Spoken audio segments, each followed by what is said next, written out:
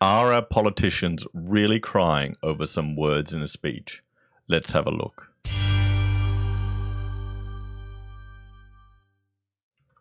Hello, everyone, and welcome to this episode of Heise Says. I thought today I would have a quick look at the response that some of our politicians are giving to Fraser Anning's speech. So let me just rub out some things that I've drawn there. Let's have a look at this clip from the chamber of when he gave his speech. Notice all of these empty seats here. There's Senator Fraser Anning. You know, a few empty seats here as well. Now let's look at the plan. You can see the minors are down here. That's where he is, over here. Then you've got the opposition over on this side. So our camera is looking in this direction. And there's no one there from the opposition, maybe two, or three people. No one there from the opposition to hear his speech. Maybe that's just because it's a first speech of a minor senator from a minor party, perhaps. Or maybe it's a snub. You know, you, honestly, do you think they should get paid for attendance? If that's a big part of what they do is to take part in debate, because everyone is responding to this and so few people have actually sat there and listened to it. So let's have a look at some of the responses.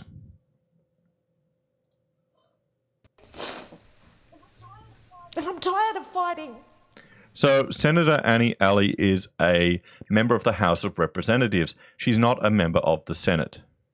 Okay, so she it wouldn't have been appropriate, I imagine, for her to actually sit there and and see it. She probably would have been an observer but I'd put my money that she wasn't.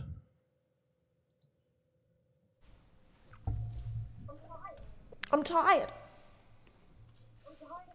I'm tired of having to stand up against hate, against vilification, time and time and time again. Okay. And uh, th- this is uh, our Prime Minister at the moment, who is not doing too well in the polls. It'll be interesting to see what happens in the next election. The reference to the final solution in that speech was appalling, and we condemn that and the insult it offered to the memory of those Jewish martyrs, just as we condemn the racism. So, final solution isn't what Hitler would have said. He was German. So now I'm going to do a terrible job. Let's just jump here and we'll have a look. So the final solution, German, Endlösung. See, I should be better at this considering German is one of my, my first languages, but it's so bloody rusty. Okay, die Endlösung der Judenfragen. So the ending solution of the Jewish question. He didn't say final solution. And I mean, it just it shows you that they're getting concerned with wordplay. And if he was calling for a you know Hitlerist type of solution to the Jewish question, he wasn't saying the Muslim question. He wasn't saying anything like that. But they're just latching onto it because it's easy and it can um, get them attention and they can you know do a bit of crocodile tears and and get some brownie points and most people aren't going to listen to the speech you know most of them are not going to listen to it themselves they're just going to go ah he's he's a nutter yeah yeah and he's got some interesting things that should be discussed particularly with regards to some of the proposals he's making because we don't have a a party that's representing the outback or the bush very well here in Queensland and some of the things he's proposed, I think, need to be considered. Oh, here we go. This will be a good one. Listen to this. To what point? Okay, so Lucy Gichuhi is a senator who got in because the family first senator for South Australia, Bob Day, his company went under, his private construction company, so that disqualified him from getting into the Senate, and she was number two on the ticket.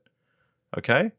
Number two. So I'd be interested to see if she will actually get in on her own merits, because I don't think so. Going to say you are Australian, you are Australian. Full stop, period. Okay, now, wait, we'll, we'll listen to a little bit more of her. I don't have to be born here. All I have to do is to hold that citizenship certificate. Mine has been questioned so many Well, times. okay, that happened to uh, my own family, my father. But I can tell you one thing, Senator, that is going to make people feel like you're an Australian. And that's not saying that $200,000 a year salary isn't very much. And that's not saying the lack of house girls or servants in Australia is an issue, okay? Because that shows that shows that you don't understand the culture that you're representing. Okay? Complaining about not having servants in Australian culture shows that you don't understand the culture. It's that simple. I, I'm sure that you'll you'll learn and realize why we don't have, you know, servants in our, in our country. Only for the the the quite rich. In you know Asian countries, the middle class can even have servants. I know in Hong Kong, some of my family members did, and it, it's just the way it is over in those cultures. But it's not our culture here.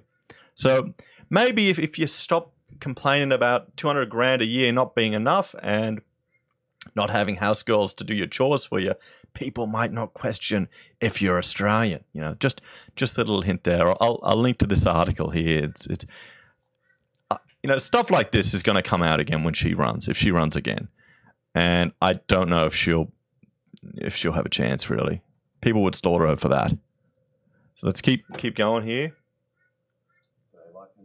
Today, like a number of colleagues in this place, uh, I have relatives who went through the Holocaust, a very, very low point in the Australian political He just used a term.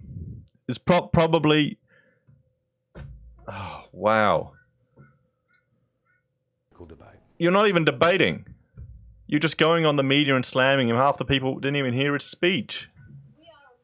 We are a multiracial society, and I've always advocated you do not have to be white to be Australian. It was Paul I, I don't know about hearing that from Hanson, considering her maiden speech. Maybe I should do a, do a drinking beer and listening to Hanson's maiden speech. Maybe that's a new series.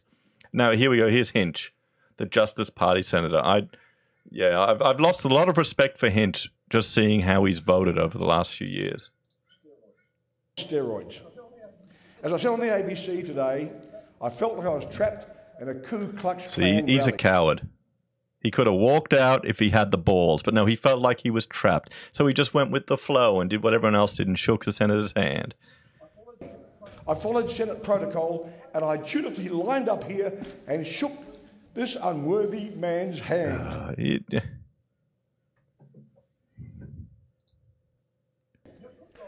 I just want to oh, look, he's, he's crying. He's crying.